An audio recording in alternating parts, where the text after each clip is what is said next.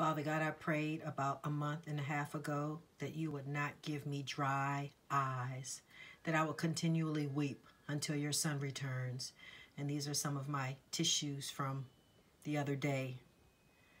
The kids are going to be astounded when they move out all of these belongings of mine when you call me home, when they unpack the tissue boxes and boxes and boxes and boxes and all the prayer journals and journals and journals.